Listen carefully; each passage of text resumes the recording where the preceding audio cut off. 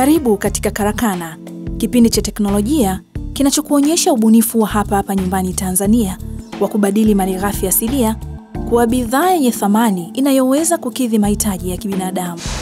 Hapa tunakuonyesha na kukufahamisha teknolojia mbalimbali zilizobuniwa na Watanzania kwa kuzingatia mazingira, maadili, utamaduni, jamii, siasa na uchumi wa jamii yetu ya Tanzania.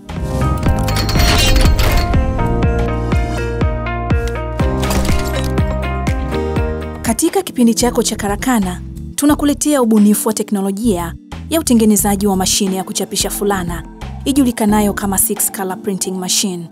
Mashine ya kwanza kubuniwa nchini ilibuniwa na Mtanzania Ramadhani Mzava.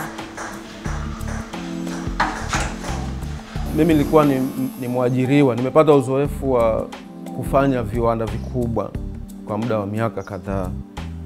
Sasa uzoefu nilioupata kule kwenye viwanda ndio hatimaye ulinipelekea kuwa na ubunifu wa kutengeneza mashine, na lengo kubwa lilikuwa ni kujiajiri mimi mwenyewe. Hakika ndoto za kutaka kujiajiri zilitimia kwa kijana Ramadhani baada ya kuamua kuacha kazi ya kuajiriwa na kuanzisha kiwanda chake cha kutengeneza mashine za kuchapisha fulana. Kitu cha kwanza nilichokifanya hii kuchukua maamuzi ya kujiajiri uh, ilikuwa ni, ni kupata kuwa huru zaidi na, na, na, na kuamini kwamba naweza kufanya kitu kikawa ni msaada, kwamba sina uwezo. Nilikuwa natamani shughuli zile za printing, lakini je, mimi nikitaka kufanya hizi shughuli sina capital ya kuagiza mashine. Mashine ni ghali kuziagiza kutoka nje, ni milioni kati ya milioni sita saba, six color station na six color, six color by six color station. Kuiagiza hiyo ni milioni sita saba mpaka ije hapa kutoka nje. Kwa hiyo nikawa naona nakosa kitu mtaji basi, lakini sasa hiyo ikanisukuma, nikaona mimi nimekaa na mafundi na nikawa nime, nimejua mashine nyingi ambazo ni complicated, kwamba kuna nyingine unaweza ukaprinti cylindrical shape kama ndoo, kitu round shape. Kwa hiyo sasa hii flati, kwa nini nishindwe kuprint kitu kiko flati? Kweli nikaanza kutengeneza mashine na ilikuwa ni nimeanza mtaani. Nikitoka kazini, ilikuwa naenda mtaani. Kuna rafiki zangu walikuwa na gereji, nikawaomba wakanikubalia, nikawa nanunua vifaa chakavu. Ni mashine hii mnaiona hapa, ambayo si, si bomoe, ni historia, na ndio tumefanyia demonstration ya kwanza. Mashine hii ambayo iko, iko niko nayo hapa, hii ndio mashine niliyokoteza vitu mpaka nikaitengeneza wazo likawa sawa.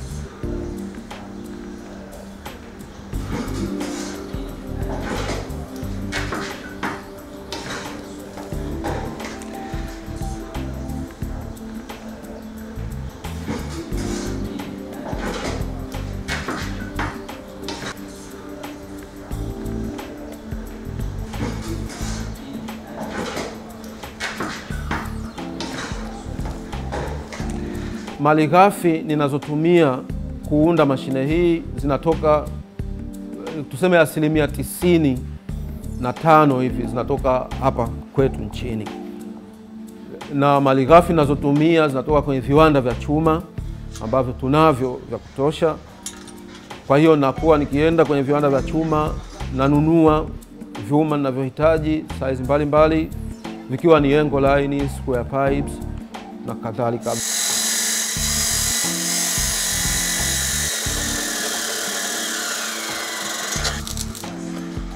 Vifaa kama hivyo aluminium sheet, kwa hiyo na, na mabati na ni iron mabati ya chuma kawaida.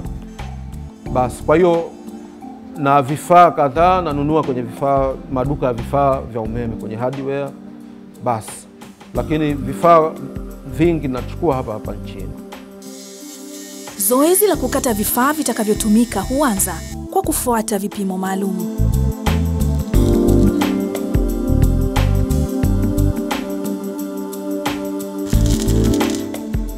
Kisha zoezi la uungaji wa vifaa vilivyokatwa hufuata ili kupata mashine kamili.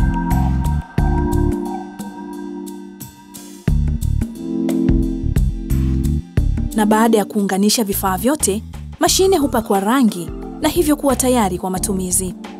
Zoezi la kutengeneza mashine hii huchukua siku mbili hadi tatu mpaka kukamilika.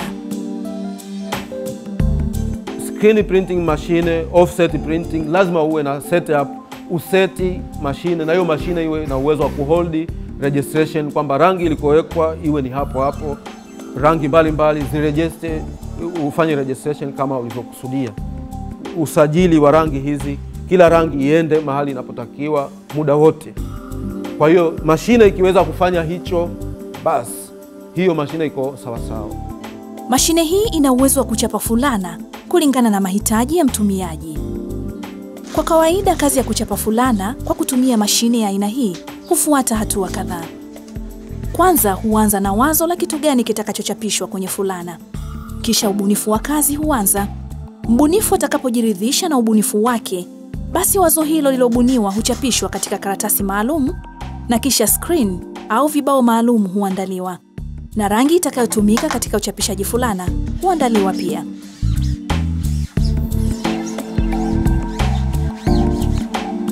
Baada ya hapo, fulana huwekwa katika mashine, kisha screen au vibao vyenye logo ya mteja hufungwa vizuri ili kuruhusu uchapishaji.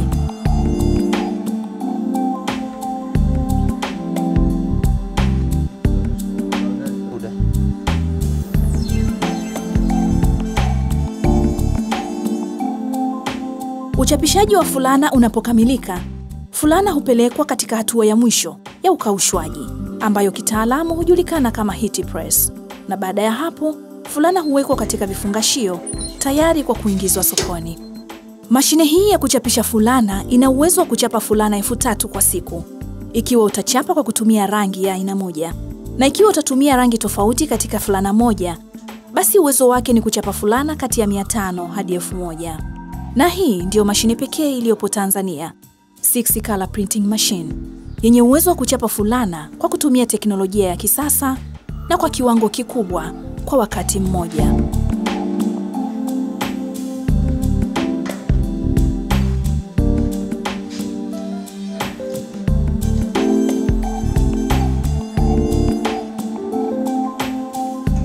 Tunapozungumza ubunifu tunamaanisha kile kitu kipya hapa nchini kwenye mazingira yetu.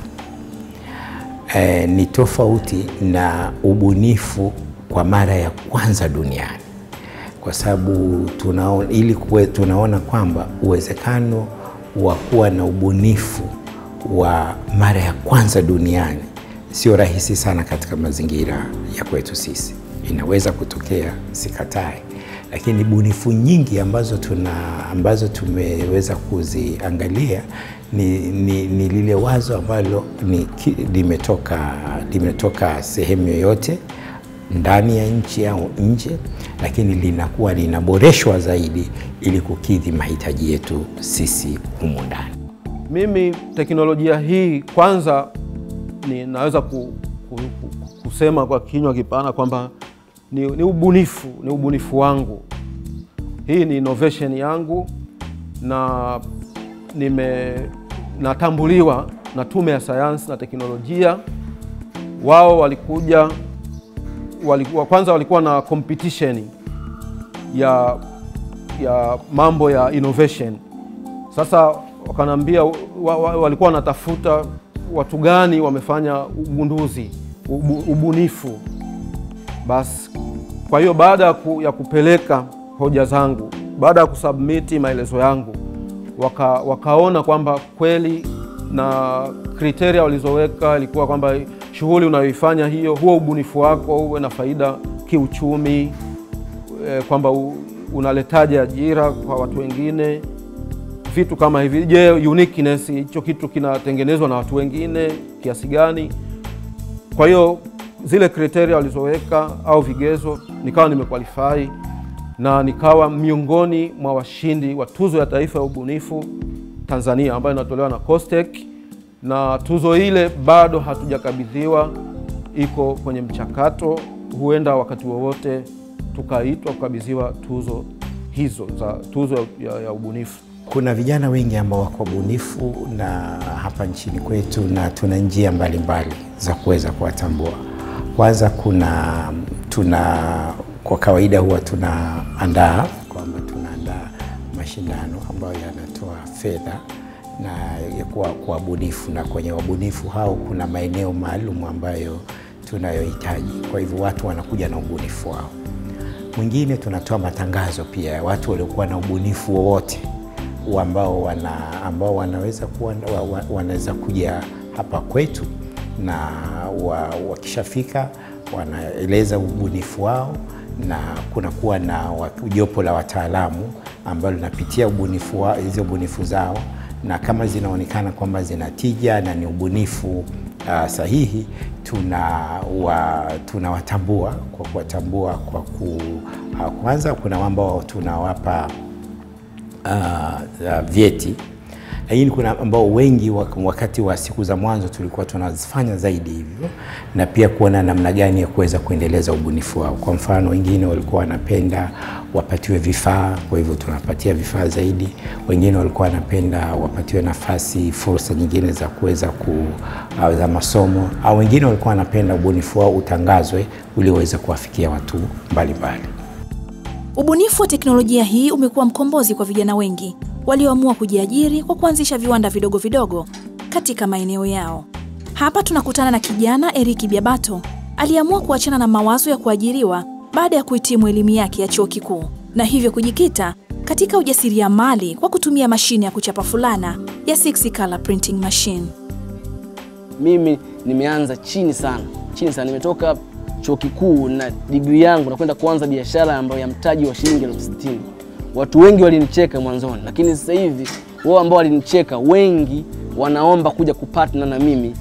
Baadhi ambao walitoka chuoni wako kwenye sehemu ambazo mishahara yao kidogo sio mizuri, wana wish labda waje wapate nafasi kwenye management kwenye ofisi yangu mimi. Kwa hiyo mwanzo walinidharau, lakini nilianza kwa mtaji ambao nilikuwa nao kipindi kile shilingi elfu sitini. Sikupewa na mtu yeyote, ilikuwa ni savings zangu mwenyewe, lakini sasa hivi mtaji wangu umekuwa ni mkubwa mkubwa sana na sasa hivi biashara yangu inazidi kushamili, lakini nilianza watu wakinicheka. Kwa hiyo tuache kujificha nyuma ya vitu ambavyo havina msingi, tuinuke. Vijana sisi ndio taifa la kesho, tukizubaa sisi taifa limepotea.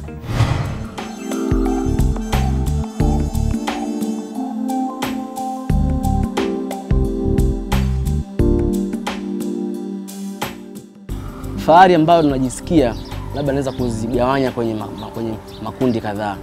Kundi la kwanza kwanza, ninajivunia kuwa huru, kuwa huru kwamba ninaamua, yani nina uhuru na maisha yangu sasa hivi, kwamba sipangiwi muda wa kuamka, sipangiwi kiasi cha kuingiza, sipangiwi kitu chochote kuhusiana na maisha yangu. Kwa hiyo naweza kuplan maisha yangu mwenyewe, naweza kuplani niamke saa ngapi, muda gani nisafiri, muda gani. Kwa hiyo cha kwanza, huo uhuru wa maisha yangu najisikia fahari sana. Kingine fahari ambayo najisikia ni kuweza kuwapatia vijana wenzangu ajira, kwa sababu kupitia hii biashara kuna, kuna vijana ambao nimewapa ajira. Kuna vijana wengi ambao nimewafundisha na sasa hivi nao wanajitegemea, wana, wana ofisi zao. Mpaka sasa hivi kwa vijana tuna na vijana sita. uh, Kwa hiyo kwamba kwamba yani kazi inapokuwa nyingi, mimi mwenyewe huwa naingia na kuwa wa saba pia, kwa sababu sijaacha sijaacha nani kwenye, kwenye, kwenye kushiriki moja kwa moja. Kwa hiyo mpaka sasa hivi tuko saba jumla, mimi mwenyewe nikiwemo. Kwa hiyo ni vijana sita, lakini mwanzo nilianza peke yangu, sasa hivi imeweza kuajiri vijana saba, lakini kazi inapokuwa nyingi zaidi na muda ni mfupi, huwa tunaongeza wengine ambao huwa wanakuwa ni part time. Maisha ambayo nilikuwa nina dream kuyaota, yani ile safari nimeanza kuiona kwamba yani naelekea huko, sijafika, lakini naona kabisa kwamba njia ipo vizuri na naelekea huko. Lakini fahari kubwa kabisa ambayo najivunia na kwenye, kwenye ajira binafsi ni kwamba nina yani, mafanikio yangu ni bidii yangu. Kwa hiyo kadi ninavyokuwa kadi ninavyokuwa naongeza bidii ndio nazidi kwenda mbali zaidi. Kwa hiyo dream zangu ni, kuja kuwa mfanyabiashara mkubwa kabisa. Kwa hiyo naamini kupitia ajira binafsi nitafikia kule kupitia juhudi zangu pamoja na watu ambao wanafanya nao kazi.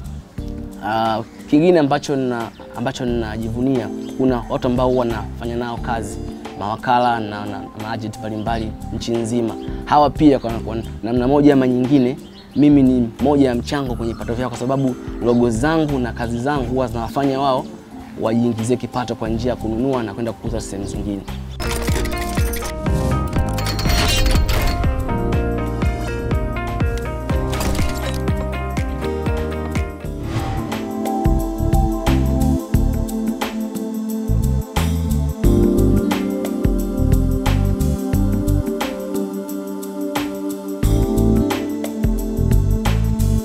Soko liko vizuri kwa sababu ubora uko vizuri. Huu ubora uliokuwepo sasa hivi, mtu asipokuambia ni ngumu kutofautisha, kwa sababu zamani ilikuwa t-shirt za kuprint unaziona tu kwa macho. Sasa sijui sasa hivi nini kimeongezeka, lakini usipoambiwa huwezi kujua. Hapo namaanisha kwamba hazina tofauti, yaani unazo print nje na za hapa zote sawa. Asili kubwa ya kuwa na nguo ambazo zinaprintiwa na Watanzania kwamba kama unavyojua vijana wengi saizi ajira zimekuwa ni ngumu sana. Kwa hiyo tunapowapromoti wao wakiwa wanaleta bidhaa zao katika maduka yetu, sisi tunawasaidia katika kufungua milango yao ya ajira ili kusaidia Watanzania wapate bidhaa ambazo zinakuwa zinatoka katika nchi yetu ya Tanzania. Unajua zamani kwanza vifaa ambavyo walikuwa wanatumia kufanyia printing, si ndio? Vilikuwa ni vya kizamani. Sasa hizi teknolojia imebadilika, kwa hiyo vitu vinatoka vizuri kwa kutumia mashine. Kwa hiyo kuna tofauti kubwa sana. Sasa hivi hata ukichu- ukichu- ukichukua hii fulana ukivaa, unaivaa kwa muda mrefu, maandishi hayafutiki, sijui kutoka toka rangi nini, hamna. Sasa hivi vijana wana print t-shirt nzuri, wanatengeneza t-shirt nzuri. Mfano mimi sipendi t-shirt zenye ujumbe, sitaki chochote, ni sitaki mtu asome chochote kwenye t-shirt zangu. Wananipa t-shirt hizi, wananipa chata nzuri, ndio hicho kinachonivutia. Zamani nilikuwa nikiamini vinavyotoka nje ndio bora zaidi kuliko vinavyoprintiwa Tanzania au hizi zinazotengenezwa Tanzania, lakini kwa sasa, kwa sababu najua ubora wake baada ya kushawishiwa. Mwanzo ilikuwa ngumu kukubali kuvaa, baada ya kushawishiwa nimeona t-shirt nzuri, ngona ine ngona nichukue hata kama itaenda kufa, lakini kwa sababu nzuri nimeipenda, ndavala huo muda mchache, lakini baada ya kuona inakaa inadumu kama zingine, nimekuwa mteja wao.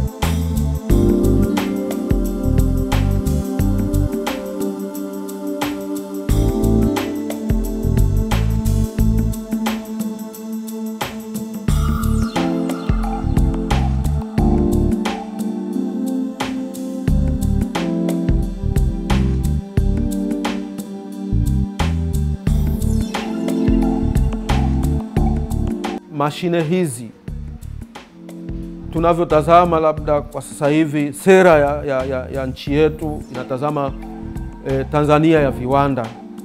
Nategemea kwamba viwanda vya nguo vitafufuliwa na vitaanzishwa vingine vipya na malighafi kama pamba tunalima. Sasa kwa ongezeko la viwanda hivyo vya, vya nguo watu wanaweza kujiajiri kuongeza thamani ya nguo zinazotoka viwandani. Kwa hiyo watu wanaweza kujiajiri. T-shirt kama hii ni plain t-shirt, lakini unaweza kuiadi value ikawa ukaiongeza thamani ukauza ukawa ume, kwanza umejiajiri na utaajiri watu wengine kukusaidia kazi hii, na pia uta, utakuwa unanunua vitu vya hapa nchini unaongeza thamani. Kwa hiyo kunakuwa na mzunguko mzunguko wa kiuchumi, kila mtu atakuwa amefaidika. Na mashine hii moja ina, ina uwezo wa kuajiri watu kumi. Kwa hiyo mashine moja mtu anaponunua anaajiri zaidi ya watu kumi, inakuwa ni kampuni, kwa sababu unapokuwa na mashine hii unahitaji una, graphic designer anaweza kuchora vitu kama hivi kwenye kompyuta kabla ya kuprinti zile film, positive film. Lakini pia kuna maprinta, pia utahitaji watu wa masoko, siku hizi watu vitu lazima kuvitangaza, promotion inatawala. Iwapo vijana watachangamkia fursa ya kutumia vifaa vilivyobuniwa na Watanzania, basi ile dhana ya kusubiri kuajiriwa huenda ikapungua. Kijana Eriki Biabato aliamua kuwa mfano kwa vijana wengine. Anatoa ni... Vijana tunalalamika sana, yaani tunalalamika sana. Vijana wengi wa Kitanzania wamekuwa ni, ni hodari wa kulalamika na kutafuta excuse, yani, yani, yani vile vitu vya kuvisingizia. Ambavyo wengi huwa wanasingizia uwezo duni wa familia, kwamba baba yangu mimi hana uwezo, angekuwa na uwezo angenipa mtaji nikaanza biashara, au labda mimi sikusoma, ningesoma sasa hivi ningekuwa benki, nimeajiriwa na vitu kama hivyo. Kwa hiyo vijana wengi waache kutafuta excuse, yani vile vitu vya kuvi, kuvisukumia mpira ili iwe kama kitu ambacho wao wanajificha nyuma yake. Kwa hiyo badala yake wa, waongeze bidii kwenye kwanza, wainuke wa, wa, wainuke, waache kubweteka, sawa, watafute fursa, fursa zipo, sawa. Vile vile tuache kufuatilia mambo ambayo hayana msingi zaidi. Unakuta kwamba vijana wengi tumebezi sana kwenye vitu ambavyo vinapoteza muda. Social media zinapoteza muda sana, muda ambao mtu ilibidi uwe sehemu unafanya kazi, mtu yuko Instagram anapo, ana, anapost picha na kulike picha za mastaa na kufuatilia vitu vingine kama umbea, kingine movies, games, vitu kama vile. Tukipunguza tuka- tukahamisha kwenye mambo kama kusoma vitabu, mambo kama kujifunza ujuzi mpya, tutafanikiwa, kwa sababu mimi siamini kwamba ni, ni mpaka uende uwe na elimu au ukasome sehemu ili uweze kuwa hapo nakopataka jitihada zako binafsi na kuwafuata watu ambao wanaweza kukutoa hapo ulipo kwenda sehemu nyingine, kuwa nao karibu, kuwanyenyekea ili wakusaidia kutoka pale kwenda sehemu nyingine. Huko mbele mam- mambo akishakaa sawa, kitu kinakuwa sawa. Ni hayo tu katika Karakana siku ya leo. Kama una maoni au ushauri kuhusiana na kipindi hiki, tutembelee katika kurasa zetu za mitandao ya kijamii at Azam TV TZ. Kwa watumiaji wa Facebook, Instagram na Twitter, unachotakiwa kufanya ni kuanza na hashtag Karakana kisha andika maoni yako. Kwa heri mpaka wiki ijayo.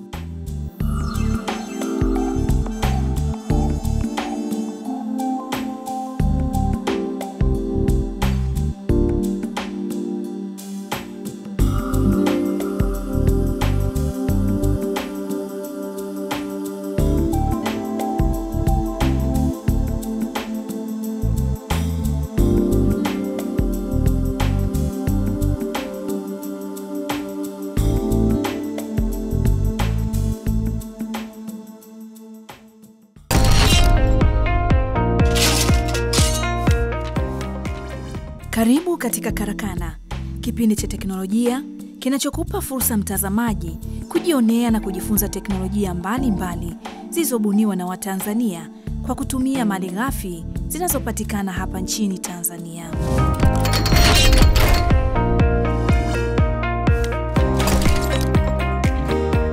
Mtazamaji, leo katika kipindi cha Karakana ninakuletea teknolojia ya utengenezaji wa mashine za 3D printing. Wengi wetu twaweza kujiuliza 3D printing machine ni kitu gani? 3D printing ni teknolojia ambayo inatumika ku, kuumba vitu kwa kutumia plastiki, material iliyotengenezwa kwa plastiki, mbao au material ambayo imetengenezwa imechanganywa na chuma kwa ajili ya kuumba vitu.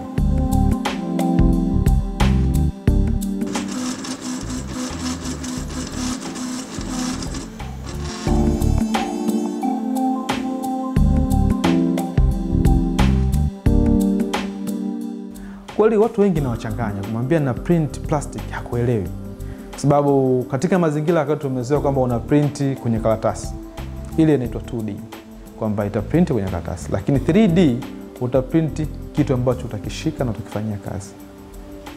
Kwa mfano gia, nimedesign gia, nimeandaa gia, mchoro wa gia kwenye kompyuta, nitakapoambia mashine ya print itanitengenezea ile gia.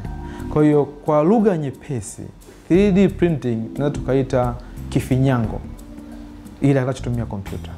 Kwa ni kifinyango cha kielektroniki kinachoongozwa kwa kompyuta, kwamba unaandaa mchoro kwenye kompyuta unaleta kwenye kifinyango chako.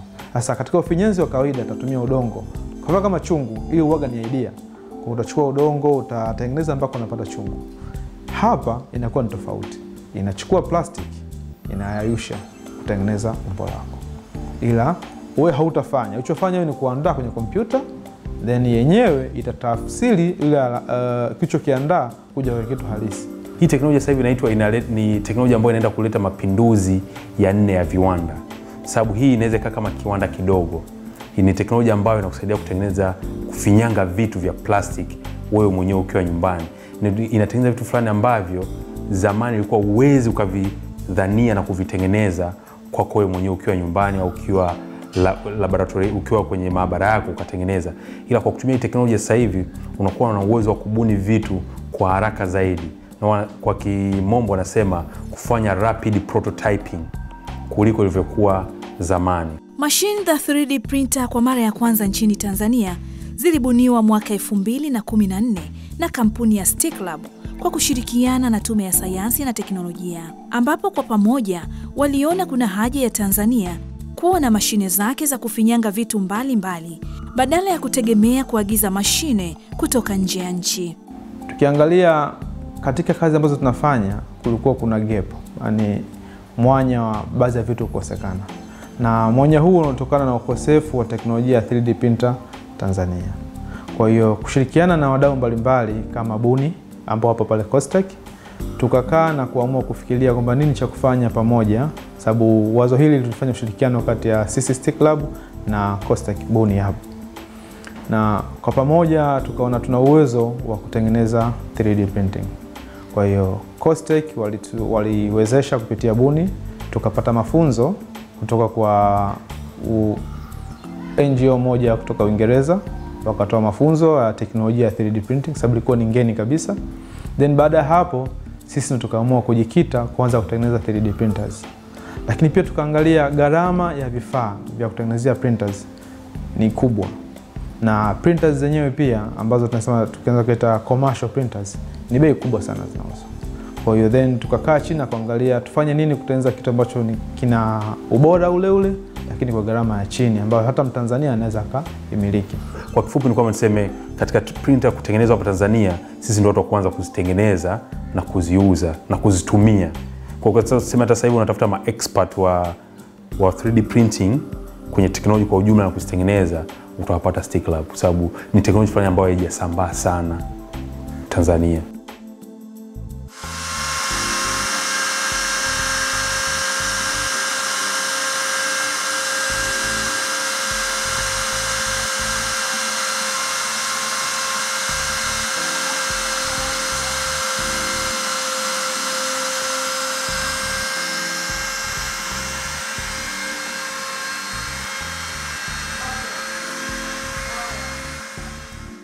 Tuliamua kufanya 3D printing kwanza kwa sababu katika innovation au kazi zinazofanya utakuta unahitaji kuwa na kitu ambacho hakipo sokoni.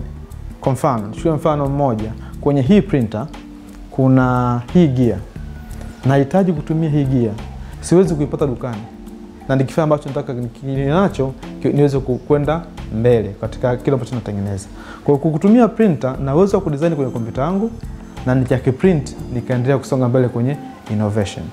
Sisi tunatengeneza mashine tofauti tofauti. Utakuta unahitaji kitu fulani kiwepo kwenye hiyo mashine yako, lakini huwezi ukipata sehemu yoyote.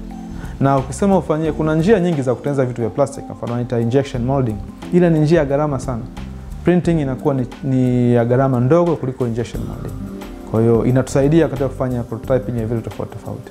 Malighafi zinazotumika katika utengenezaji wa mashine hii ya 3D printing hupatikana katika mazingira yetu. Nyingi ya malighafi hizi hutupwa kama takataka. Wabunifu wetu hapa wanatueleza ni kwa namna gani wao hugeuza taka na mabaki ya vifaa vya umeme kama bidhaa adhimu kwao. Tulipokuja na ile wazo la 3D printing tunakutana kwamba ili 3D printer ifanye kazi unahitaji kuwa na raw material ya kufanyia printing ambayo ni plastic. Sasa plastic inauzwa, lakini kwa nini utumie plastic mpya wakati una plastic ambayo ishatumika? Kwa hiyo pia tukakaa chini na kubrainstorm, tukaona okay, tuna uwezo wa kutengeneza filament. E, filament ni kama wino unaotumika kwenye 3D printing. Sasa kutengeneza huo, tukatengeneza mashine nyingine kwamba tunachukua chupa za maji, mfano chupa za maji za uhai ambazo ziko mtaani tayari, tunachukua tunazisafisha, tunazikatakata, tuna mashine tumetengeneza, itatengeneza filament. Filament ni kama waya. Unapoona huu inaonekana kama waya, lakini sio waya. Hii ni plastic ndio ambayo itakuja kuyayushwa kwenye mashine na kutengeneza umbo la kitu ambacho unakihitaji. kwao ni kweli kabisa kwamba Stick Lab wa mazingira, kwa sababu tayari tunachukua electronic waste na tunachukua plastic waste.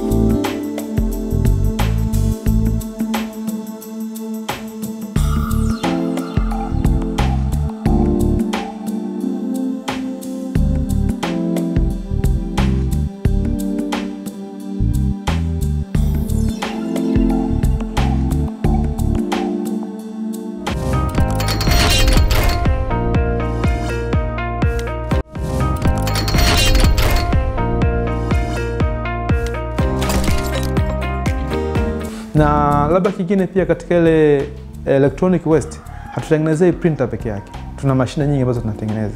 Kwa mfano mashine za kuuzia maji, uh, kuna mashine tulitengeneza kwa ajili ya kuuzia uyoga. Kuna mashine ambayo inaitwa CNC. CNC inataka kufanana na printer lakini inafanya kazi tofauti kidogo. Vyote inatoka kwenye e-waste. Tunajua sasa hivi kwamba Dar es Salaam yenyewe inatengeneza kiwango cha tan 400 ya plastiki.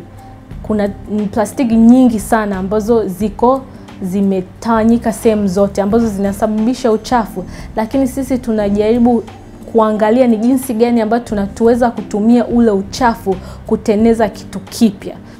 Baada ya kufikiria hayo, tukaona okay, Tanzania kuna watu wengi wanamiliki printer za kawaida, photocopy machine huwa zinakufa, zikifa zinatupwa. Kwa hiyo ndani ya vile vifaa tunaweza kupata vifaa ambavyo vinaweza kawa ni malighafi kutengenezea 3D printers. Kwa hiyo tukaanza kukusanya mota kutoka kwenye hizo printer zilizokufa, photocopy machine, kutoka kompyuta zilizokufa, tunachukua zile power supply kwa ajili ya kutengenezea printers. Kwa hiyo kwa kuunganisha hivi vitu hivyo kwamba kuchukua e-waste tunasema mm, hizo mota, hizo power supply na vifaa vingine kama wire, transistors, resistors, vyote kwa pamoja tumeweza kuviunganisha kutengeneza printers. Utengenezaji wa mashine hizi za 3D printing hutegemea mahitaji ya mteja. Mteja anapotoa hitaji lake juu ya aina na ukubwa wa mashine anayohitaji, wabunifu huanza kazi yao. Kompyuta ni kifaa muhimu sana katika uundaji wa mashine hii ya 3D printing. Sasa hivi tunapokea mapendekezo mengi kutoka kwa wateja. Mteja mwingine anakuambia mimi, hii mnayotengeneza, kuna ile ambayo tunayo kwa ajili ya soko, sawa, kwamba tunatengeneza printer yetu labda ni ya volume, print volume, tunazi, most tunazi, tunazi specify kwa print volume. Ya kwetu ina print labda sentimita 25 kwa 25 kwa 85 au I mean sentimita 25 kwa 25 kwa 30 sawa? Hiyo ndio ambayo ile ambayo tumeweka common ambayo inaenda kwenye soko. Sawa? Ile inatokea mteja mwingine anakuambia mimi ya kwangu nahitaji iwe ina print kwa ukubwa ujazo labda 30 kwa 30 kwa 30 hiyo ni length width na height. Sawa sasa kwanza inaanza kwa mteja mteja anahitaji nini sasa? Ila kupata wateja kama hao ambao wanasema wanahitaji nini ni wachache. Ila wengi wanapenda kununua ile ambayo ni standard ambayo tunayo. Kwa hiyo sisi tulivyoanza ni tuli, tuli, kuna softwares ambazo tunazitumia kudesign sawa? Tulikoanza na tulipo sasa hivi ni tofauti na tulipo sasa hivi. Kwa zile ile utengenezaji wote wa ile printer ni tunaufanyia kwenye software. Kwa tuna software ambayo tunazitumia powerful tunatumia moja inaitwa solidworks ambayo ndo inafanya design ya printer yote. Tuna design na kutest kwenye software kabla ya kuanza kuzitengeneza ili kuepuka kutumia resources kutengeneza afu uje urudi nyuma. Sawa kwao tunapunguza ile tunaita kwa kimombo wanaita iteration time yani marudio tunapunguza ule muda wa kurudia rudia. Sawa kwao tunafanya kila kitu kwenye software ambayo tunaitumia solidworks tunafanya kila kitu tuna test kila kitu tuna test strength of material tuna durability ya zile parts za kueje kwa tuna test kusharidhika then ndo tunakuja sasa kuanza kutengeneza printer. Sasa na uzuri wa hizi printer zina tabia moja. Na ndo ambacho kitu ambacho mashine zingine haziwezi kufanya naweza kasema haziwezi kufanya ila hizi zinaweza kufanya. Hizi mashine zina zina uwezo zinajizalisha zenyewe. Nikisema zinajizalisha kwa maana gani? Uki, ukiangalia printer kama hii ina hizi ni plastic parts plastic parts plastic parts hata ukiangalia hii hapa iko na plastic parts plastic parts sasa unaweza kujiuliza hizi plastic parts umezitengeneza wapi sawa kwa kabla ya kuwa na hii printer maanake kuna printer nyingine ilikuwa ina exist ipo sawa sasa ile printer nyingine ambayo ipo ndo inazalisha parts kwa ajili ya printer nyingine ambayo inatengenezwa. Kwa hiyo wanasema zinajireproduce zenyewe, zinajizalisha zenyewe. Kwa kama hii hapa ilivyokuwa tayari hivi, naweza nikaitumia kutengeneza parts za kumalizia kutengeneza printer hii hapa. Sasa kwa ni zinajizalisha zenye. Kwa huyu akishakamilika anaweza akatumika tena kutengeneza parts kwa ajili ya kutengeneza printer zingine kama hii kumalizia kumalizia na zile kwa. Kwa hiyo ndo uzuri wa hii teknoloji, ina uwezo kujizalisha zenyewe.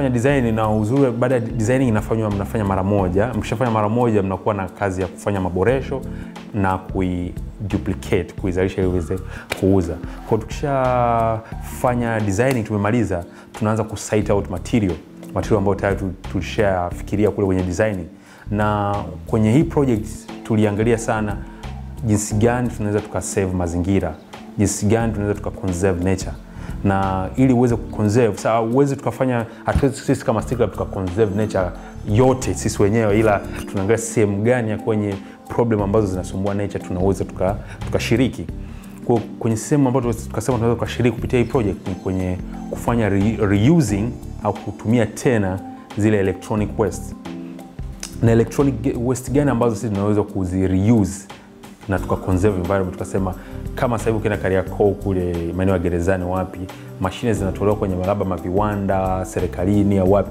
yanaenda kule kutupwa, yanavunjwa vunjwa, alafu ile waste ina inatupwa. Saa nyingine unaweza kutoa for instance uh, mota kama hizi hapa Sasa ukienda kule wanazivunja, wanatoa kopa ndani wanatumia, ila hii chuma hapa, hizi chuma huku zote zinatupwa, zinaenda kujaza kwenye landmass no. Sasa sisi tukasema tunawezaji wa conserve hii environment. Kwa sisi tunachofanya tunaenda kuzinunua hizi kwa watu, tunawalipa, tunanunua kwa bei nafuu, tunazichukua, tunakuja kutengenezea printer. So uzuri wa hizi hapa zina uwezo wa kukaa even 100 years zinakaa zinafanya kazi kwenye mashine. Kwa tunazichukua tunazirudisha kwenye kwenye mzunguko wa matumizi ya electronic devices, ndo tunatumia ku, kuundia hizi printer. Hii ni moja ya waste ambayo tunazitumia. Kwa nyingine ni power supply. Hizi power supply ni za server, sana sana zinatumika kwenye seva unakuta baada ya muda fulani seva unabidi wabadilishe au watoe power supply zile, sababu wanakuwa na muda ambao yule aliyowauzia zile seva anaambia tumia power supply kwa muda huu mpaka muda huu, baada ya hapo uzitoe. Kwa hiyo wanakuta wanazitoa hata kama sio mbovu, ila manufacturer aliyowauzia zile seva anaambia uzibadilishe, kwa wanazitoa, wanazitupa. Sasa ukitoa kuzitupa huwezi kwenda kuitupa, bado ni nzima, kwa inafanya kazi. Sisi unachofanya ndio tunazinunua, tunakuja tunazitumia tena kwenye printer, vinginevyo hii ingeenda kutupwa na isingeweza kufanya kazi.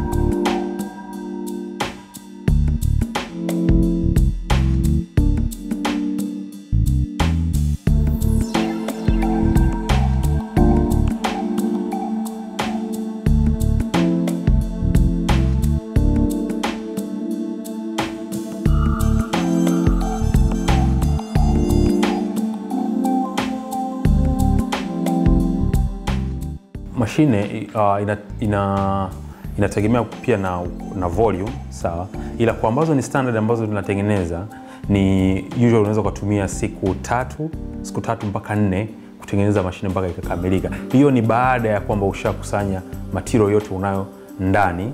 Sasa unaweza ukatumia siku tatu mpaka nne, kwa sababu siku ya nne unaitumia kwa ajili ya kufanya testing. Siwezi nikakupatia printer ambayo sijaitesti, kwa hiyo lazima nikishamaliza kuitengeneza ni print mwenyewe, ni print, nijiridhishe na quality ya ya printout zake ya vile vitu ambavyo vinatoka kutoka kwenye printer. Kwa lazima nijiridhishe kwanza printout ziko sawa au haziko sawa. Kama ziko sawa, kuna tatizo gani? Then inabidi niingie nianze kutatua hilo tatizo, sababu hizi hizi tunanunua ni ni used sawa, second hand sawa. Kwa inawezekana maybe ilikuwa na tatizo lake, baada ya kuitumia muda mrefu lika ndo unaanza kuliona sasa. Kwa hiyo nachoamua ni kwamba lazima niitumie nijiridhishe kama na tatizo lolote na ngao tatizo, sababu najua almost matatizo yote ya, ya hii mashine. Kwa hiyo hata likianza tatizo fulani najua okay, hapa ni sehemu fulani kuna matatizo.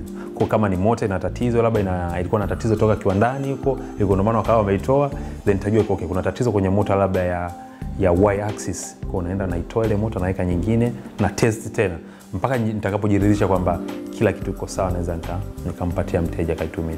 Na baada ya hapo hata tukisha kupatia unatumia, unajua bado watu wengine ile aweza kawa haraka anajua kuitumia haraka kama mimi nimetumia muda mwingi. Nimetumia almost two, two almost three years najifunza natumia. Na kila siku still bado najifunza pia.